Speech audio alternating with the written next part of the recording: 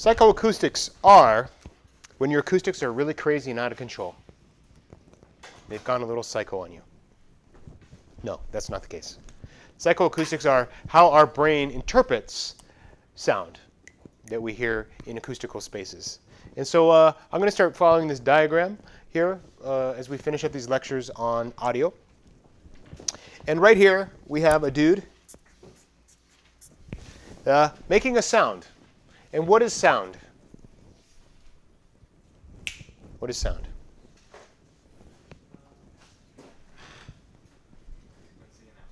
Frequency amplitude in what? In the air, right? Frequency amplitude of what? Waveforms. And what are waveforms representing? Of what? What is sound? That's what I'm trying to get to. What is sound? Frequency is a measurement of sound. Amplitude is a measurement of sound. What is it measuring? The vibration of particles. Can you tell me more? What are those particles doing in the air? They're pushing together, and we call that compression. compression. And then what else? When we compress some of them, what happens? The other ones stretch out, right, and rarefy. So the sound is those compressions and rarefactions happening in the air. A disturbance in the air, if you will, right? So here's a little disturbance in the air that our, our dude is making making a sound, okay? And that is acoustic energy, physical energy in the air. These sound waves are moving around. Those sound waves travel away from the disturbance and they start banging into surfaces and walls. Uh, why? Because we spend lots of time inside walled areas, right? Uh, and how that sound interacts with the, the um, surfaces and boundaries, right? if you need to get water, feel free uh, how it interacts with those surfaces and boundaries is called acoustics. Okay, we bound around there, and that's what I talked about on Monday. I talked about sound and I talked about acoustics, right? A little bit. Or I talked about sound last week.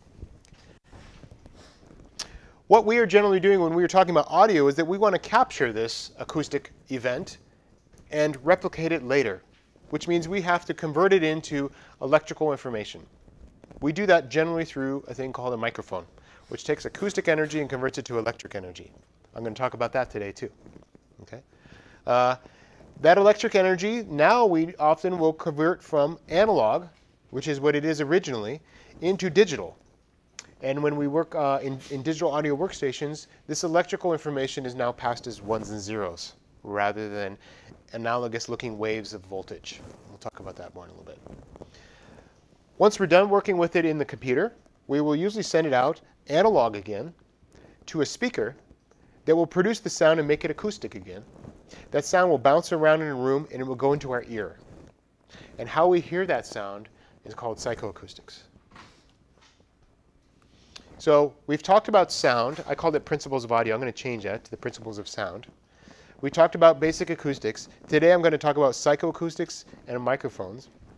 And then when we come back from Thanksgiving, I'm going to talk about analog audio, digital audio, and how we route that audio once it's in there how we send it around. Questions? Make sense? Okay.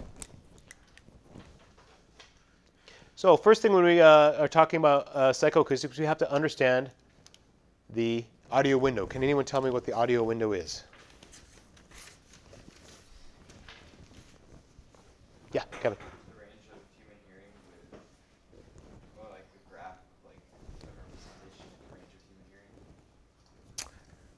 Yes, and what would the two ranges be? What are the two axes on that range? And which one is x and which one is y? Okay, so we usually will draw it like this. X-axis is frequency, y-axis amplitude. What's the plugin that we use that looks most like this? EQ, right? It's just like the EQ plugin. Okay, uh, our hearing range uh, in amplitude goes from 0 to 120 decibels. Okay. Uh, that is an extremely broad range.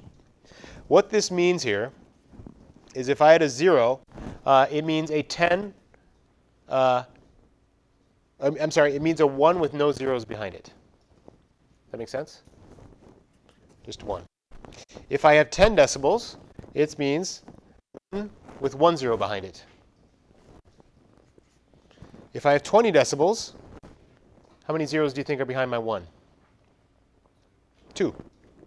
So 20 decibels would be a 1 with two zeros behind it. Does that make sense? Okay. Brandon, can you give me, if I had 30 decibels, how many zeros would be behind my 1? Good. 3, right? Okay. So you're just taking this first number, and that's the number of zeros behind your 1. Does that make sense? So when I get up to 120 decibels, how many zeros are behind my 1? Yeah. So one of the things to remember is it's decibel. So it really means 10 of those. So we kind of have to get rid of the 10 when we're looking at this. Okay. It's actually only, this is only two bels. Okay. We multiply by 10 and we get a decibel. So 120 would mean there are 12 zeros behind the 1. 1, ready for this? 1, 2, 3, 4, 5, 6, 7, 8, 9, 10, 11, 12. How much louder is 120 decibels than 0 decibels? You tell me when they look at that?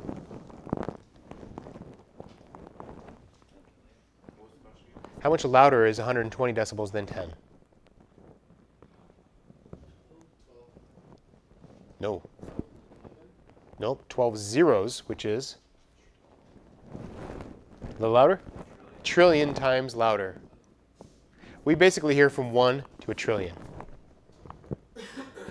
We write it as decibels because going from 1 to 120 is a lot easier than going from 1 to a trillion. Right? It's like, that's kind of loud. That sounds like uh, 900,992,361 whatever, right? Pascals or whatever it is. Instead, we could just say, ah, that sounds like 95 decibels. That's why we do that.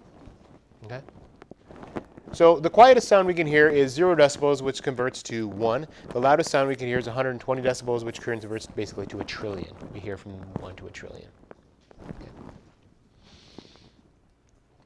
Uh, any questions on that? Okay. It's crazy, right? Yes, yes, and you can do, you can train your ear to identify how many decibels are. I, am pretty good, I can usually get pretty close to it. And I think I showed you guys this the other day. This is called the audio tool. It has a little decibel meter pro in it. You should have this. You should totally have this on your, your phone. Uh, I press this and I know that we're at about 60 decibels right now, somewhere in that area. Right? And I was showing the class before, I can go here and go, ooh, and be around 70 decibels. It's actually better to watch, by the way, this needle up here rather than the number in the middle. Okay? So if I watch it, I'll get it at 70. Because that's showing RMS. You guys remember what RMS is?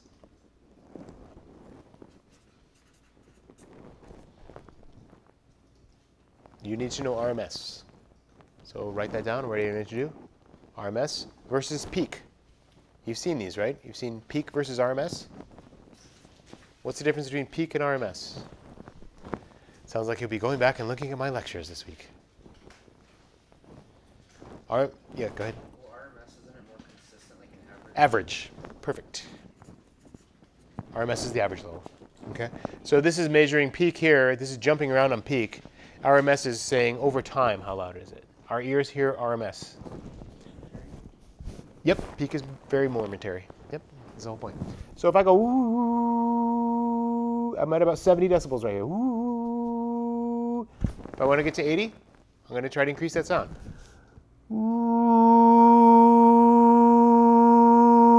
I got it up to 80. I don't think I can get up to 90. Ah!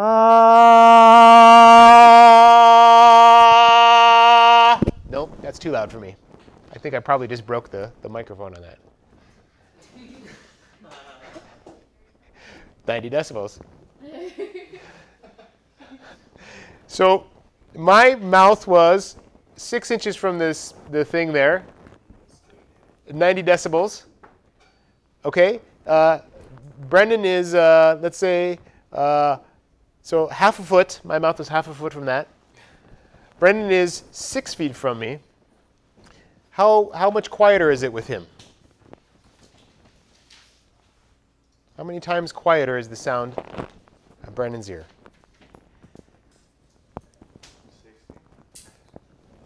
Okay, so half is, so remember, it's the inverse square law.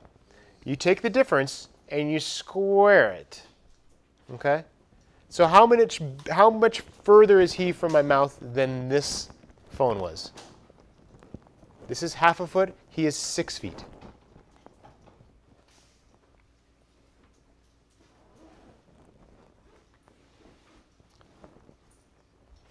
This is half a foot. He's six feet. How much further away is he from my mouth than the phone? Or are you asking like actual footage? No. How many times further? 12 times further. Does that make sense? Because I have to multiply a half foot times 12 to get up to 6 feet. It's 12 times further away from me. So how many times quieter was the sound of Brandon's ear than this phone?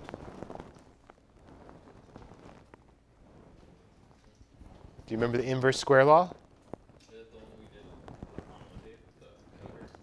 No, no, we're in we're we are in amplitude right now. We are in decibels. We actually didn't we didn't calculate it in this thing. No, it doesn't have anything anything to do with what I'm I've drawn because I'm trying to ask you something that we covered on Monday. Are these the things I'm going to ask you next week and on the final? Absolutely. So when I double the sound, double the distance to a sound, how much quieter is it?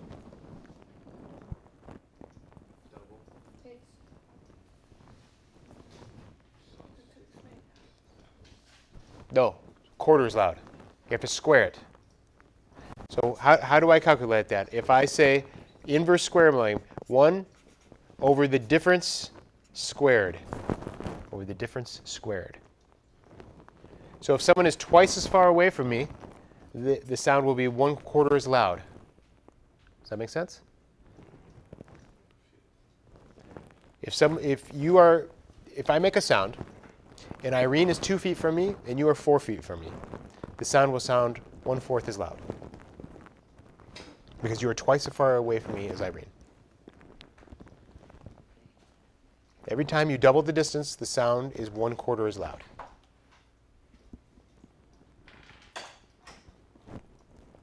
If you are one foot from me, and Jerry is two feet from me, how much quieter is it for Jerry?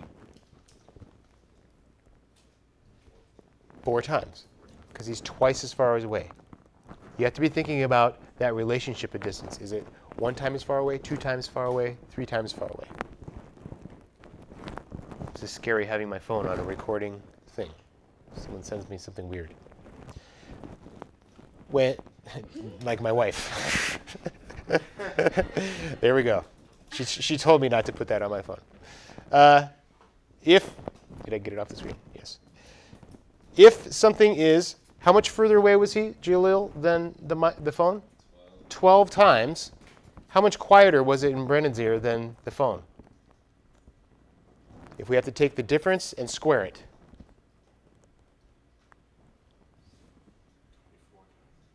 Square it, not, not double it. Perfect. Good job, Brennan. You got it. That sound was 144 times quieter for him than it was for my phone. Craziness, right? Craziness. You are what, 12 feet away? So this is now 24. You, it was the difference was 24, right? You are 24 times further away my phone was, which means that sounded loud, didn't it, to you guys? But really, for Jaleel, it was 24 squared times quieter than it was for my phone. We're talking huge differences in level. Huge differences in level. Okay? We're extremely sensitive to it. It's amazing what our ears can do. You got it there. You nailed it when you said that. Okay? Inverse square law. If someone is three times further away from you, how many times quieter is the sound? Nope, square that three. One ninth is loud. Or it's nine times louder for you, or one ninth is loud for them. If someone is four times as far away from you, how much quieter is it? someone's four times further away from the sound source than you, how much quieter is it? Good, 16. Are we getting this? If someone's 10 times further away from you, how much quieter is the sound? That's the inverse square law. If they're 27 times further away from you, how much quieter is it? Or you just say 27 squared. Inverse square law. We, I feel like you guys just got it there. Did we? Just got it there. Okay. So as, this, as you move away from the source, where Syra was when I was making that loud noise, it was actually really quiet compared to what Brendan heard or my phone heard. Craziness, right? Okay. Uh, I'm going to come back and talk about frequency in just a second, okay? Because we are just so worked up about this amplitude thing, I want to keep going on it. We hear logarithmically. We hear from 1 to a trillion, basically. Uh, we use the word loudness to describe how, we, how loud we hear intensity uh, or pressure. Unfortunately, or fortunately, we use the word volume now quite a bit too. And so I would say volume and loudness are starting to mean the same thing, okay? even though scientifically volume doesn't mean a whole lot. Uh, the biggest difference we can hear in a change in sound is about 3 decibels. If we're in a controlled environment like headphones, you can hear a 1 decibel change. But for the most part, if I take the fader and I moved it up 3 decibels in here and you had your eyes closed, most of you would not be able to hear it. I'm not going to do that right now, but we could later. Okay? That's the just noticeable difference. The point at which you can hear the level is different. Okay? So our ears are really designed to hear these big changes in sound, not these subtle little ones. Okay? The extreme changes. What does that mean? Well, it means that if you're mixing something and something sounds too loud, go ahead and start by moving it 3 decibels because that's the, the least amount anyone will be able to hear. If it's at a 12, drop it to a 15 or move it up to a 9. See what happens. Okay? Most people won't hear that. Don't bother changing things much less than 1 decibel. I've spent many years doing that. In fact, I just did it this weekend when I was mixing the wind ensemble. okay, let me move from negative 19 decibels to negative 19.25. Oh yeah, that's better which means I'm really good at convincing myself I'm hearing things. Because I know if you A-B'd that for me, I wouldn't have been able to tell. But I sure felt like it was there. It's kind of like I'm talking about the compression, right? Now I feel better, even though no one in their mother can hear it. But I feel better. So uh, be real careful when you're getting there tweaking your levels and moving them that little amount. You're getting too far in, probably. Uh, Three decibels means the sound is twice as loud. What? Get out of here.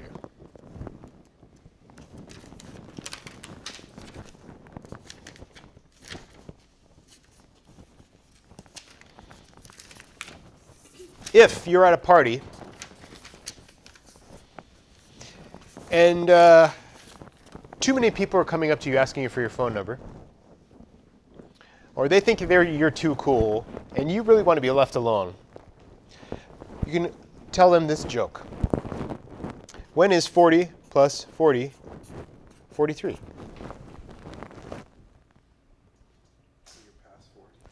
When you are talking decibels. But, and then they'll leave you alone the rest of the night. Sound good? You'll be very unpopular at the party. No one will think your joke's funny. If they do, you have a uh, you, you will found your soulmate, right? Oh, I got it. That's hilarious. Okay. What do I mean by that? Well, if you remember, uh, how many zeros do we have behind our one at 40 decibels? Four. So we'd have one, one, two, three, four. How many zeros do we have behind our, our uh, other 40? Same thing, right? We end up with 20,000. That make sense? 10 to the x equals 20,000. Can anyone guess what that is? 10? Yeah. If you were to calculate that, it is 10 to the 4.3 equals 20,000. Try it on your calculator. Go ahead and put it in if you want. 10 to the 4.3. I'll even show it to you. How do you do these? And, and by the way, you don't need to know these specific things, but I'm just trying to. This is the joke, exactly. You want to know the joke. So if I go 10 and to the ex to the exponent right here of 4.3, I end up with 20,000. Yes, rounding it a little bit. I'm just kidding. Rounding it. Okay? Let's not get too particular here, folks. And if you remember, this means that we are that uh, if we want it to be a decibel, we have to multiply this by 10 to make it decibel, 10 bels, and we end up with 43. What does this mean? When you put two 40 decibel sounds together and you add them together, you only end up with 43 decibels. You put two 43 decibel sounds together, you only end up with 46 decibels. Mm, That's weird, right? Two plus two 2 plus 2 decibels plus 2 decibels would be 2.3 decibels. 10 decibels plus 10 decibels would be 13 decibels. Okay? A doubling of the sound is 3 a 3 decibel difference. Doubling of the sound. Double of the intensity, sorry. We hear that as the smallest amount of change. The smallest amount of change. So when the sound gets twice as loud, we just barely notice it. Now the, the, the device is like freaking out, like, wow, that sound just got a lot louder. And our ears like, uh, I just heard it change a little bit. Okay. So in the real world, when we move something up three decibels, reality says that is two times louder. Our ears say that is just noticeable. Sorry. I can just hear that. When we increase something by 10 decibels, reality says that is 10 times louder, and our ears say that is twice as loud. We hear something that increases by 10 decibels is twice as loud. That's our, our perception of that, our psychoacoustic perception. 10 decibels we hear as twice as loud. Does that make sense? Unusual stuff, right? Not, not much of reality works like this. Actually, light, light does similarly. Intensity and light. If you ever put on sunglasses that cut out half the light, it still looks pretty light. It still looks pretty light. Same thing, if I take the volume and I turn it down to half, it only went down three decibels. And you're like, that barely changed. And I'm like, that was half the volume, right? So we don't hear linearly, we hear logarithmically like this. Logarithmically. What do I want you to take from that? I want you to know this. I want you to know the idea of this. That 120 decibels is a 1 with 12 zeros behind it, a trillion times louder than the quietest sound. I want you to know that we can just barely hear a 3 decibel change in the real world. If we're in a studio with headphones on, we can probably hear a 1 decibel change. Every 3 decibels is actually twice as loud, but we barely hear that movement. Every 10 decibels is 10 times as loud, but it sounds twice as loud to us. That's what I want you to know from that. Got it?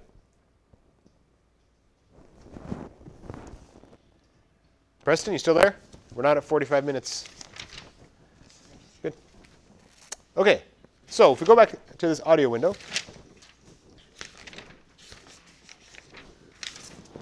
the other thing we have in our audio window besides, besides amplitude is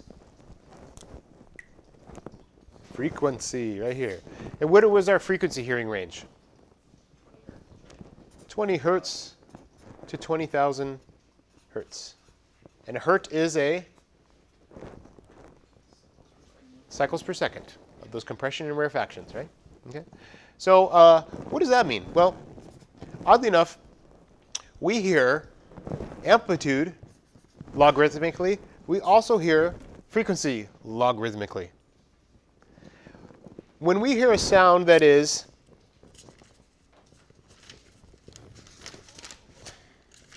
I'm using up this whole pad today. When we hear a sound that is 100 hertz, uh, we tend to um, well, we, we tend to like sounds that line up with that. And one of the first places that it lines up well is 200 hertz because it's twice as high. Does that make sense? In that scene, 100 hertz would look like this. 200 hertz, which I've shown you before, would go every two, right? And those antinodes would line up. Okay? This is called an octave. Why? Because in Western music we divide it into eight steps often. Okay? We hear the change from 30 hertz to 60 hertz as an octave. We hear the change from 60 hertz to 120 hertz as an octave. We hear that at about the same amount of change. We hear a change from 120 hertz to 240 hertz as an octave too, about the same amount of change. But how many hertz are in between here on that one?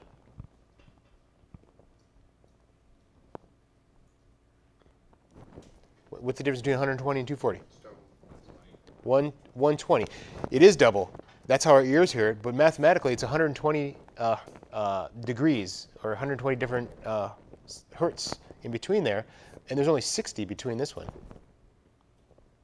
When we go from 1,000 hertz up to 1,240 hertz, it's still going up 120, but our ear will barely hear that difference. That won't mean much to us because our ear wants to hear doublings. Our ears in amplitude want to hear 10 times to be twice as loud. In, in frequency, we want to hear two times before we start to notice it, okay? Before it starts to pop out. If an octave is a doubling of our frequency, and we start at 20 hertz and we end at 20,000, how many octaves can we hear?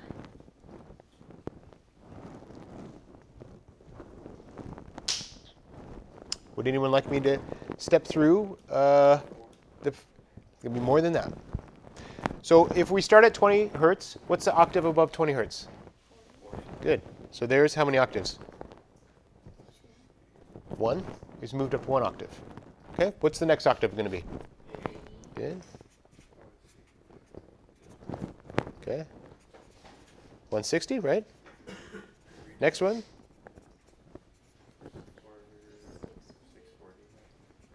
640?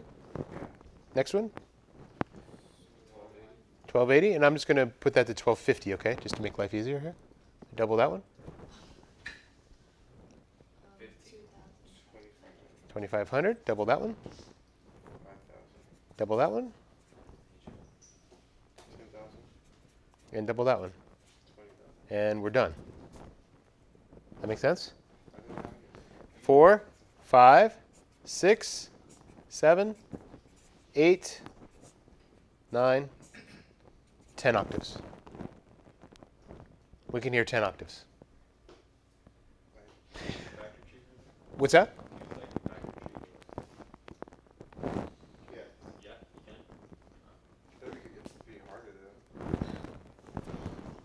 No idea what you guys are talking Saying about. like, you know, you have like a big number and like breaking down into like smaller numbers. That's pretty much what she's doing. Okay. And our ears hear that difference between 80 and 160 hertz, which is an 80 hertz difference, the same as we hear the difference between 2500 and 5000 hertz, which is actually a 2500 hertz difference. We hear that, and this is the same. Our ears work on doubling frequencies. Weird, right? I know. This is our most mathematical day, by the way. Any questions at this point that you want me to answer? Before we move on to these miserable Fletcher Munson curves. Okay. Well, life can't be this easy, can it? We can't just have mathematics, and now we have to deal with the brain doing its weird thing on the universe.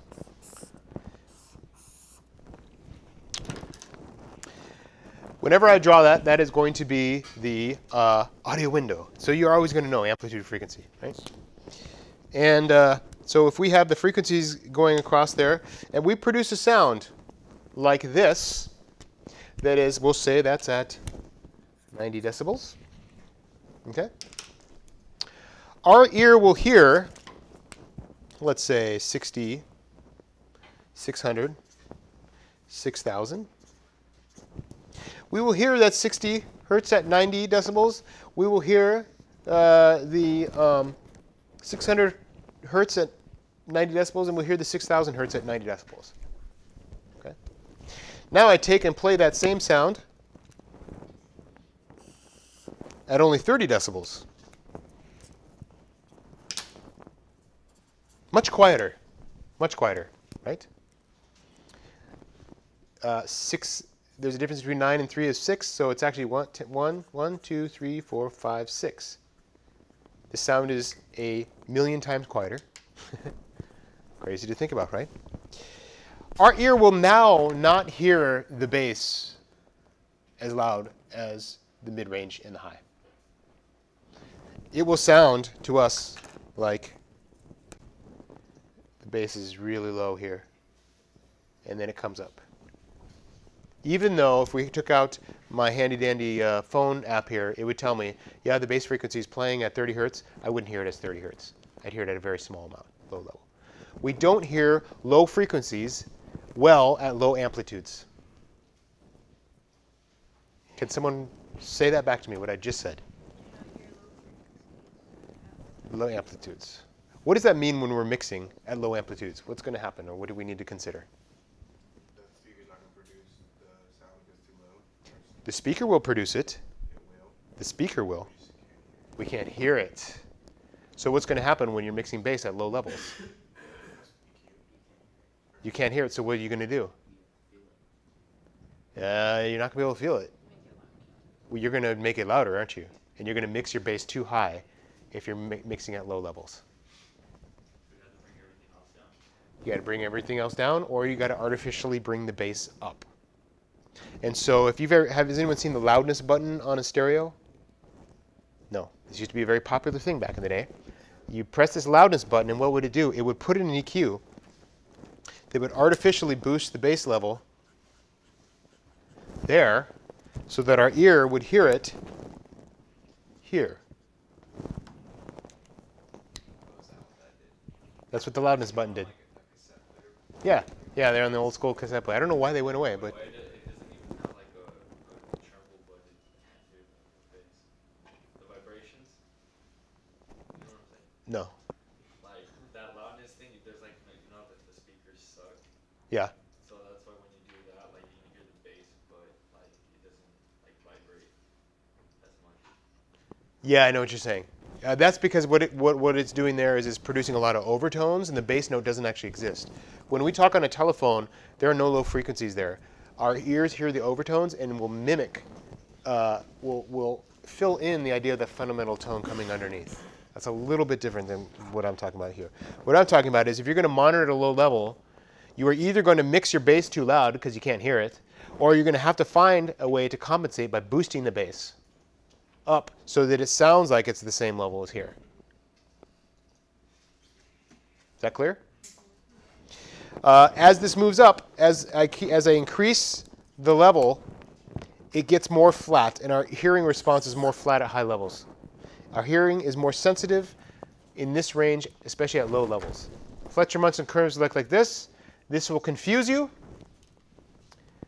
Uh, but what this is saying is, how much do you have to boost the bass when the sound is that quiet? If I'm going to listen to up here at 6K, I'm going to listen to a sound at 15 decibels. I need to increase at 60 hertz. I need to increase the EQ by 45 decibels. Right? Yes.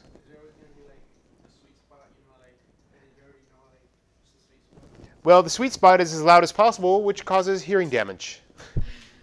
so the sweet spot is all of these. It's sort of the same thing as I was talking about headphones, right? Uh, what will happen is you'll start mixing your song to the Fletcher Munson curves rather than what's reality. So you have to keep adjusting for the Fletcher Munson curve. You have to listen loud, you have to listen quiet. Or you have to know your speakers and your listening environment and your ears so well that you know the bass needs to be pretty quiet when I'm listening to this at a comfortable level. Because when someone cranks this up, that bass is going to come punch, punching through. Our ears are more sensitive to mid-high frequencies, especially at low levels. Why is that? It's when we're walking around in the jungle and the wife yells at us to not do that stupid thing we're about to do, right? Uh, high pitched stop sound will cut through. Literally, that's what's going on. The other, the other people who make uh, and guys make that sound not as much. Right? Our voices don't tend to quite get as high uh, in this range, in that really sensitive range. Uh, babies, a screaming baby is going to get your attention and probably stop you from doing whatever you're doing, right? And it kept us alive long enough to reproduce, and here we are. Here we are. Okay. Our ears are perfectly tuned for the sounds our mouths make. That's what they're designed for, to hear really well. And most of the human speech is right in this area. And if you want to be piercing and loud and get someone's attention, it's right there. Right there at three to three to six to eight kilohertz. Okay? And that's uh, when we listen to rock and roll and we hear uh, Robert Plant screaming real high up there. His voice is pushing a lot of these high frequencies. And it very jumps out, piercing through the song. Yeah. But I still kind of don't get it because you said we can't hear low frequencies at low dBs. So this looks The blue, line that you drew is going down towards it, but it's the dB. I'm saying right here, the red line is what we'd hear. The red line is what we, the blue is what is. This, the solid blue is what is. The red line is what we would hear.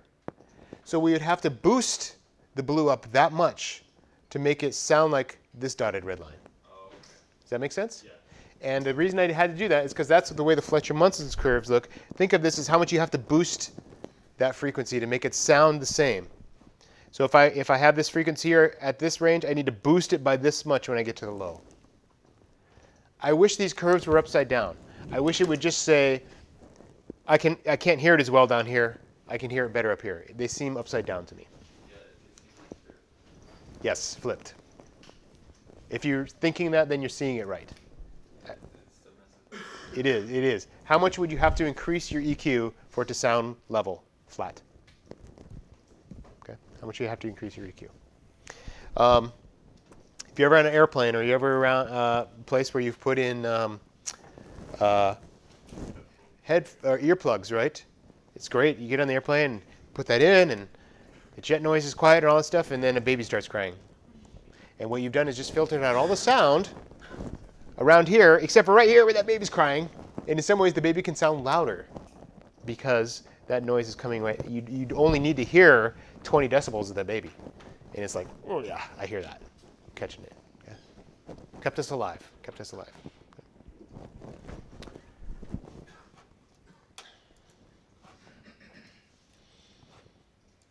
How are we doing? Good. We are just about uh, just got these uh, last three things that I want to talk to you, and then we'll we'll take a pause. Localization. So our hearing is actually pretty fantastic. We can hear 10 octaves. We can only see one octave. It goes from red, we get to ultraviolet, it starts to go back to red again. Uh, there would be an, there is another red above ultraviolet, something we would call red, except we can't see it. Our eyes don't respond to it. Wish we could. It'd be cool to see different colors of red, just like we hear different C's as different octaves: C1, C2, C3, C4. Okay.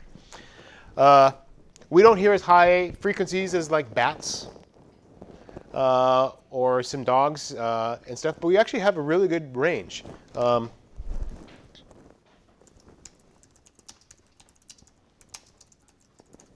some that are more than us, but we are.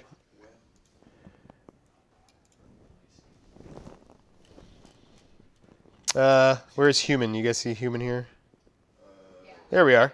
Yeah, they're purple. Yeah, see, we're not. We're right there with all of our mammalian friends, right? Uh, we have. Uh, it looks like ferrets, man, have a pretty long range, right? So uh, when you look at uh, where's where's dog, dog there. Dogs and humans are about the same. Dogs can't hear as low frequencies; they can hear higher frequencies. Dogs don't have better hearing than us. Okay, they don't have better better hearing than us. Um, they can hear higher frequencies than us. Okay. Right. They don't like. They don't even hear the bass. Poor dogs. Okay. When they, there was a dog hit that came out, it was all about that treble. Sorry. Uh, tuna. Yeah, tuna don't hear very well at all. Okay. Uh, dolphin. Well, I see porpoise down here. Because we have we the tool our tools can measure it. Our tools can measure it. There's there's Yeah, there's frequencies going on that we can't. We can we can measure on tools. What's, black? Huh? What the black means here? I'm not sure. I don't know. Yeah, some of those bats are getting way up there, right? Yeah, little brown bats, really high frequencies, right? Okay. So don't let anyone tell you that you can't hear. We, you know, you stand up for your rights as a species.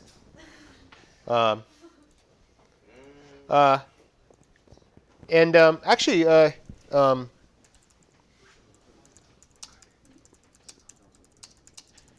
I wonder. Uh, so that was frequency range.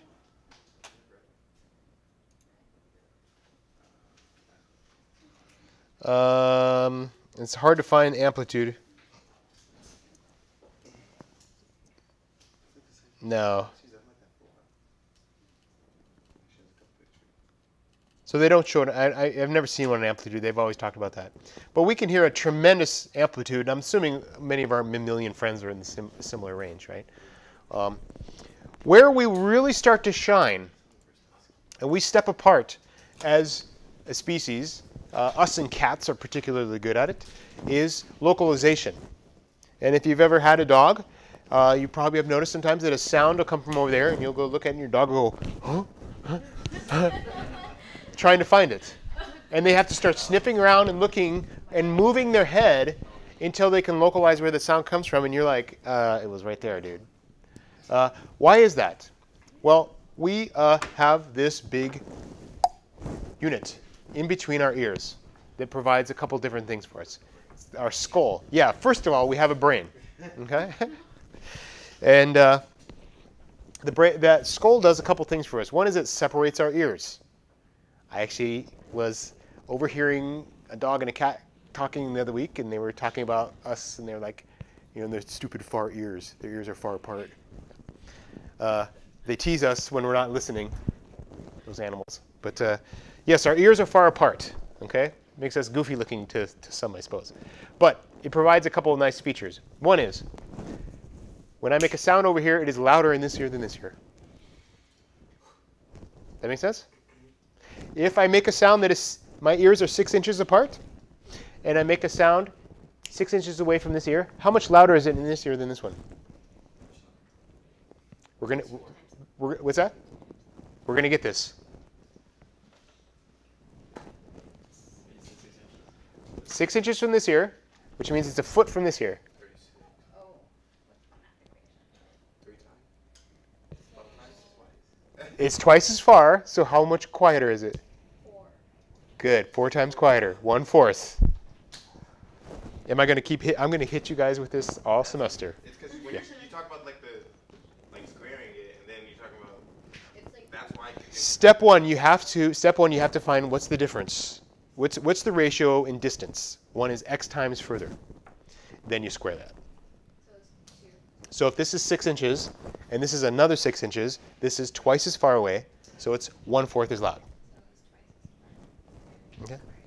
So that's that's one of the big differences. I happen to know my beagle.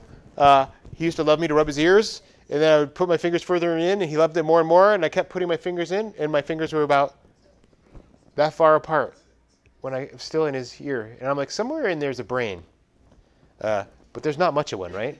His ears were only about that far apart, which means that that intensity difference between those two wouldn't have been that much. Harder for him to localize. Okay. His ears were more about wafting up sounds so he could sniff, right? He could sniff. Spectral localization. Second thing that happens uh, is that when a sound comes from this side, and let's say it's a high frequency. Does anyone remember how long the wavelength is for 1K? How long is the wavelength of 1K sound? This one, this one is, I want you to memorize this. One foot, good job. 1K is one foot. Okay? So uh, uh, uh, 1K sound is one foot. Uh, so how long is a 2K sound? You're going to get this. You're going to get this by the end of the semester. Huh? Nope. Four feet. Two feet. Twice the frequency. As frequency goes up, what happens to wavelength? There we go.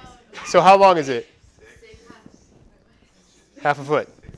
2K is half foot, right? Or six inches. All right. So if I'm in the in, in, if I'm in the ocean, and there are some big, huge waves coming, and I put up a little pole here, what's going to happen when those waves get to that pole?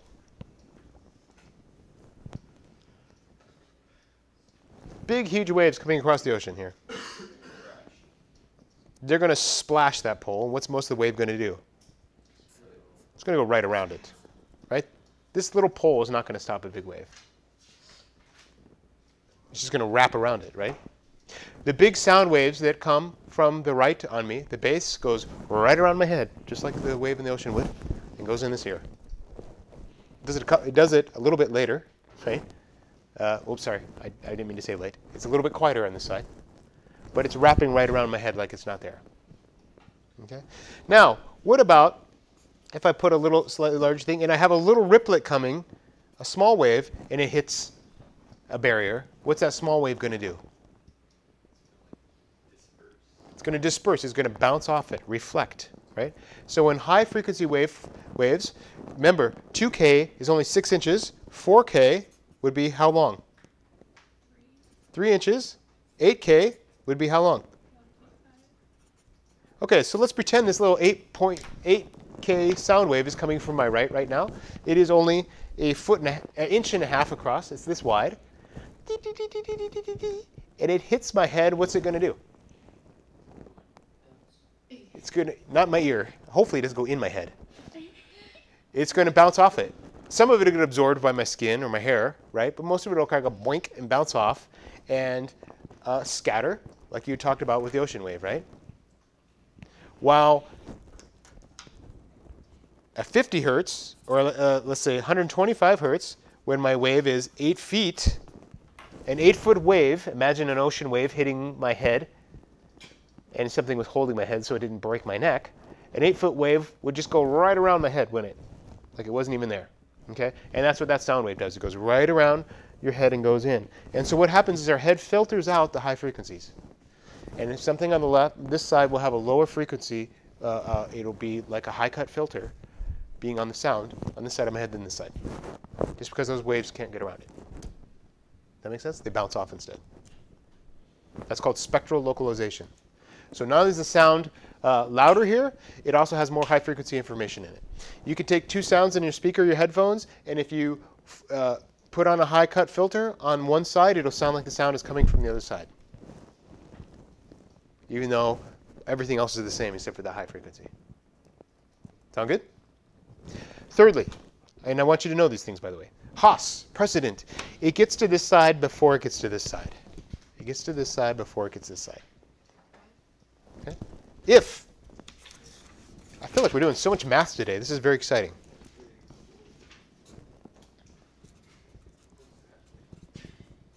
Does anyone remember how long a millisecond is?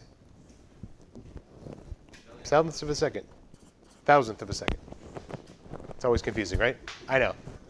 Yeah, it should be a millionth of a second, but it's a thousandth of a second. Okay, 0.001 seconds. Uh, guess how far sound? Did I tell you how far sound goes in a millisecond? Well, I will. One foot equals one millisecond. Nice, kind of easy things to remember. Okay, so it takes one millisecond for sound to go. If the room is 20 feet across, how long does it take the sound to get across there? 20 milliseconds. Okay, because the sound, if the room is 20 feet across and the sound goes and bounces off the wall and comes back to me, how long does it take? 40 milliseconds, right? 20 feet plus 20 feet. Okay. How much louder is the sound at the back wall than it is at me when it bounces back?